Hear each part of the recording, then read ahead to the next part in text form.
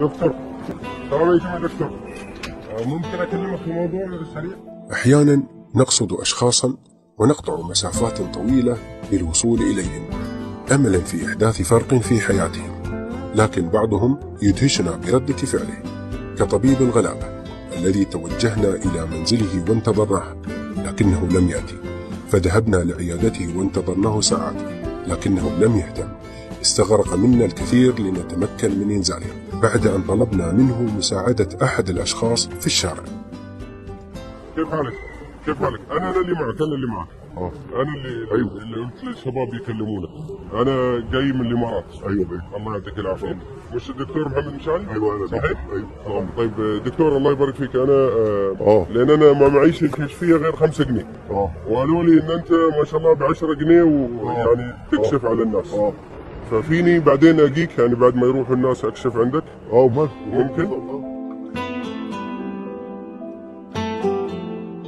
هناك ناس وهبت نفسها لفعل الخير وكرست حياتها له منهم من يتطوع بسعيه أو وقته أو ماله ومنهم من يتطوع بعمله ومهنته. فيجعل من عمله باب زكاة له ينتشل به الآخرين من صعوباتهم. وطبيب الغلابة واحد منهم. انت ليه كده بس تاخذ من الناس 10 10 جنيه. لا الناس غلابة الناس غلابة. وأنا وأنا نشات فقير. أنا نشات فقير. ووالدي الله يرحمه وصاني بالفقراء خيرا. لأن أنا مش عايز عربية 10 متر ولا عايز ولا عايز بدلة بمليون وبقى 10000 جنيه ولا الكلام. أنا زايد. أنا أي حاجة تكفيني سندوتش فول وسندوتش طعميه بيكفيني أنا جيت وجايب لك دي هدية معايا.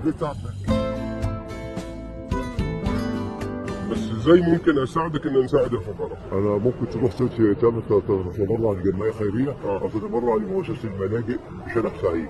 دي الروشته بتاعتي ده ممكن تقراها لا أنا مش مش محتاج الكلام ده. مش موافق مش هنتقل من هذه العياده إلى أن يتوفاني الله وأنا متأكد وأنا شاكر فضلك جدا ومينك على راسي من لكن أنا مش عايز ما أنا أنا معايا أنا ممكن أعمل أنا عاده بس أنا مش سعيد بدي دي في منطقة شعبية وناس غلابة وأنا بخدم الغلابه حاولنا كثيرا أن نقدم له المساعدة وندعم عيادته لأن جوابه كان الرفض متمسكا برغبته في العطاء بنفسه حتى آخر الطريق. بتقرب إلى الله بتقرب إلى الله بالعمل الخير. والله عارف بس كده. ومش محتاج حد. طيب خلينا نساعدك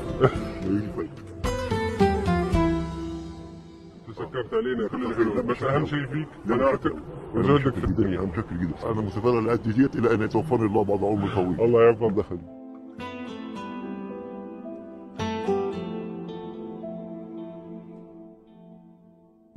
أنا أدري تعبتك. على لكن انت انت أنا إنسان سعيد بالفرصه جداً. هديتك سعيد. القيمة دي. الله يبارك تذكر منك العمل الطيب الخير الله يبارك شكر جدا شكرا